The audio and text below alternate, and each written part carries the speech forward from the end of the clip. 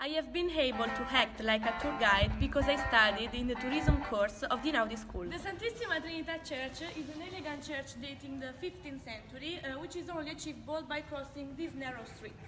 Uh, the, um, it presents uh, um, three entrances. Uh, the two in sidewards uh, date the 18th century, while the central door is, uh, was finished in 1532. Uh, the front facade presents a, beautiful glass rose window and two lions to uh, welcoming the the participants. Inside of the church is divided in five naves, which are separated by 12 columns, whose capitals are decorated with dolphins and masks. The hood altar instead uh, presents the Last Supper and was designed by Vincenzo San Marco, who is a local artist.